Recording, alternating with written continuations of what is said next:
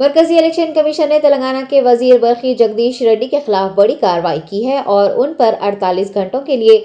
پابندی لگا دی ہے۔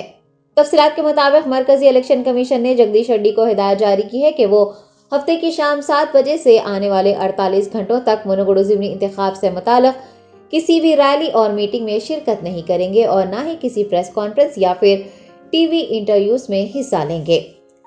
آپ کو بتا دیں کہ B J P leader Dilip Kumar نے وزیر جگدیش ریڈی کی ایک تقریر کے خلاف الیکشن کمیشن سے رجوع کیا تھا اور اپنی شکایت میں